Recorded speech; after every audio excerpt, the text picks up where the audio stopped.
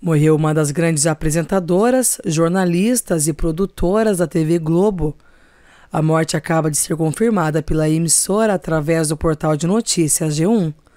Infelizmente, ela faleceu aos seus 28 anos de idade, após não resistir a uma grave doença. Já vou te dar mais detalhes da notícia, mas antes eu gostaria de pedir para você nos ajudar já deixando seu like e para você que está chegando agora, seja muito bem-vindo aqui no canal. Já aproveita para se inscrever. Feito isso, vamos à notícia.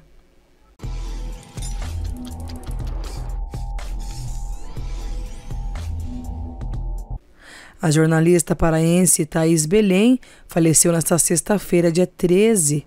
Thaís também era modelo e missionária católica. Ela lutou contra um tumor no cérebro, diagnosticado no início de 2023, e passou por cirurgia.